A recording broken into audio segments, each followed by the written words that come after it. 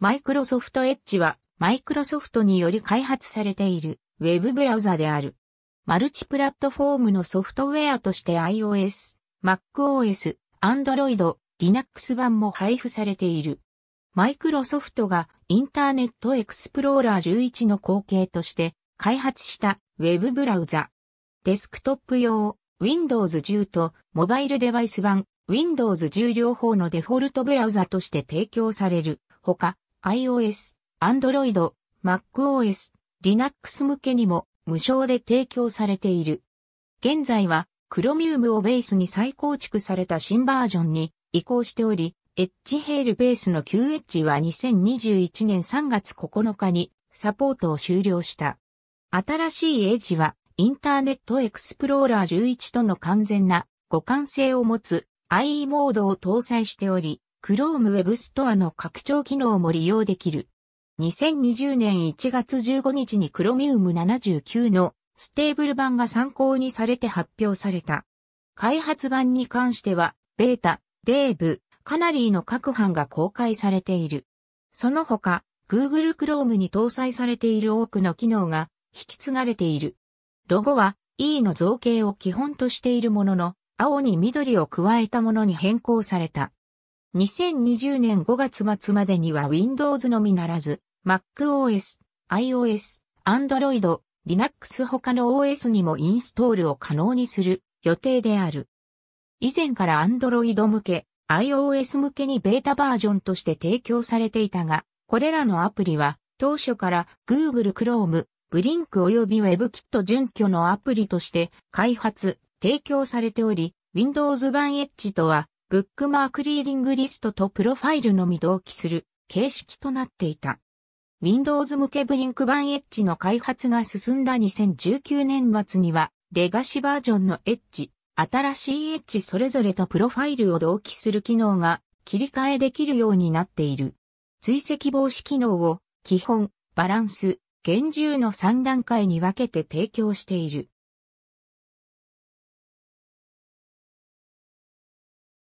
デフォルトはバランスに設定されているが変更できる。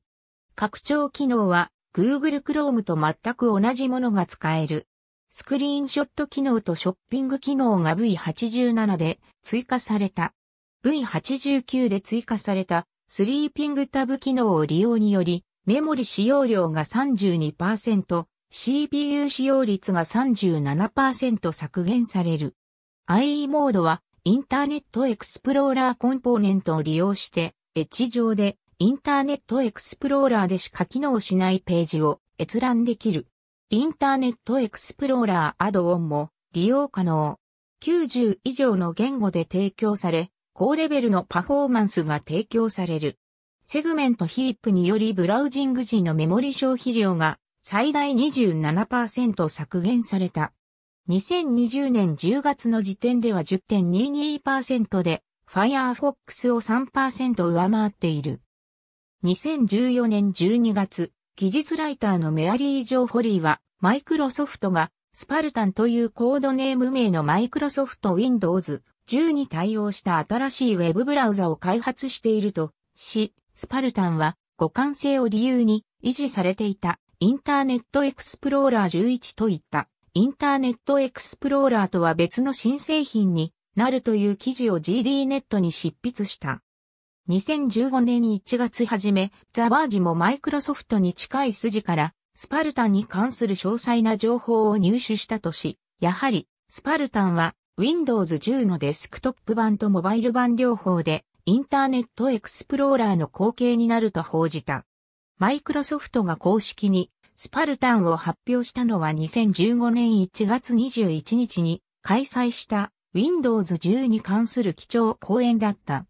スパルタンはインターネットエクスプローラーの後継となる新ブランドで正式名称が発表されていないが、マイクロソフトが名称に含まれるだろうと予想された。スパルタンが初めて一般公開されたのは2015年3月30日に公開された Windows 10テクニカルプレビュービルド1049のデフォルトブラウザとしてだった。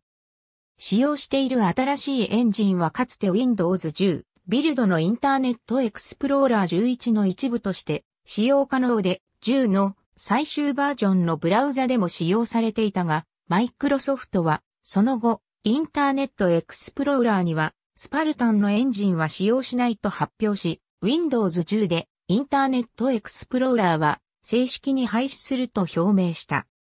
2015年4月29日、ビルド2015でスパルタンの正式名称をマイクロソフトエッジとすることと、ロゴをインターネットエクスプローラーから少しながら変更することを発表。マイクロソフトは E にこだわるのは E のアイコンに慣れたユーザーがどうやってブラウザを立ち上げたらいいかわかるようにするためとしている。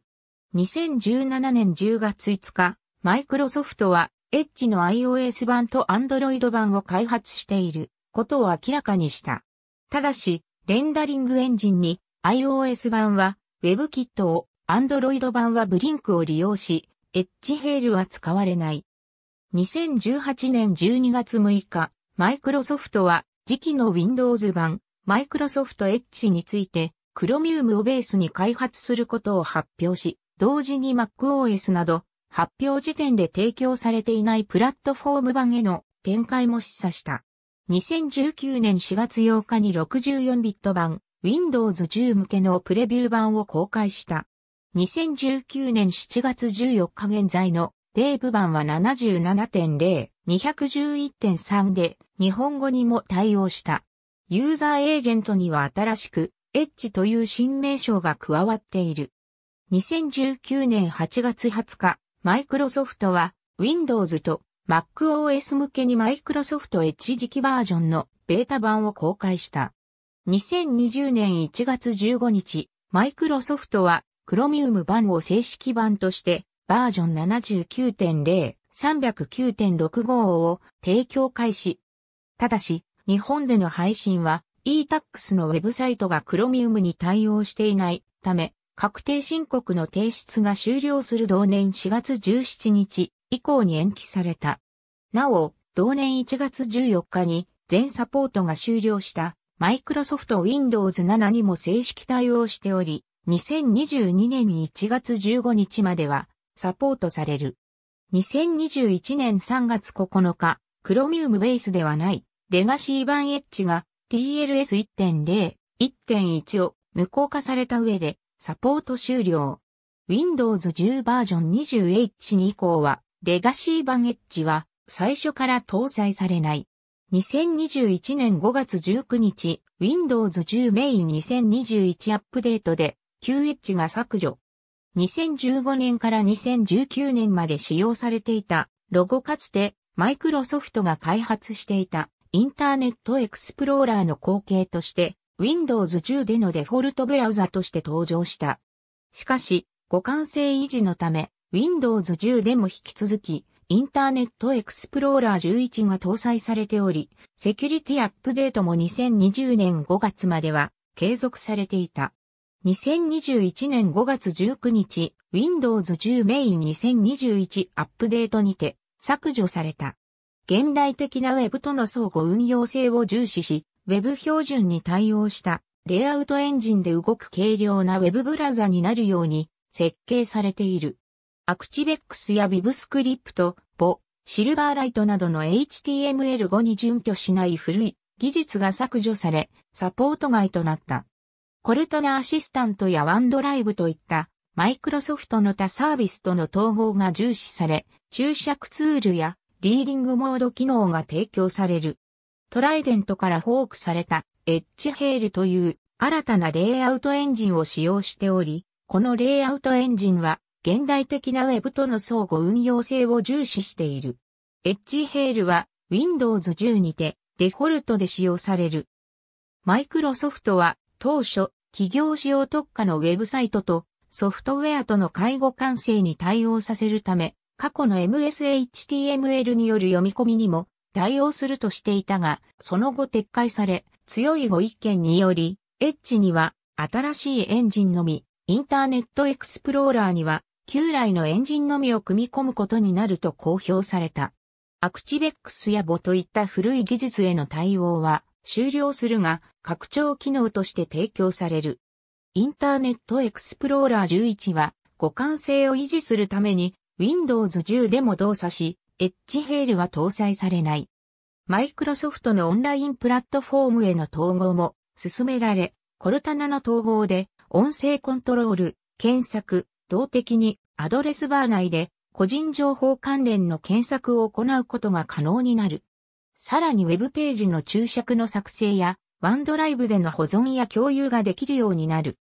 また、デバイス間でコンテンツを同期するリーディングリスト機能や不要な書式設定をカットすることで読みやすさを高めるリーディングモードの機能も搭載される。PDF 表示機能を内蔵。一方で、インターネットエクスプローラーに搭載されていた機能を含め、ブラウザとしては機能が少なく、IE と比べて退化している点も多い。例えば、ウェブページをファイルとして保存する機能は搭載されていない。また、他のブラウザでは標準となっている貼り付けて、移動や文字を選択して右クリックでの検索などの機能も以前はついていなかった。Windows 10にはドルビーオーディオが組み込まれているが、マイクロソフトエッジはその DD デコーダを使用可能であり、対応した形式のコンテンツを高音質で再生できる。エッジヘール搭載ブラウザの初期ベンチマークでは、トライデント7搭載のインターネットエクスプローラー11と比べて JavaScript の動作が飛躍的に向上したが、Google Chrome 42や Mozilla Firefox 37と Microsoft Edge のパフォーマンスは同等だった。サンスパイダーベンチマークでは、Microsoft Edge は他のブラウザより大幅に高速化されているが、いくつかの重要な場合において、他のベンチマークの全項目で Google Chrome、Mozilla Firefox、Opera よりも低速だった。バッテリーの持続時間に関しては高い性能を示している。特にムービーの再生については、Chrome、Firefox、Opera に対して2倍以上の負荷を加えた場合にも、同等以上のバッテリー持続時間を示している。IE からさほどの移行は起きず、世界全体で7%ほどであった。スタットカウンターでは1.9%とされていた。ありがとうございます。